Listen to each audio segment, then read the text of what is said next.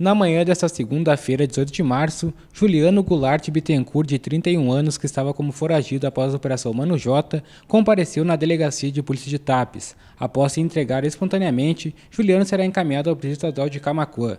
Todos os 14 mandados da operação foram cumpridos.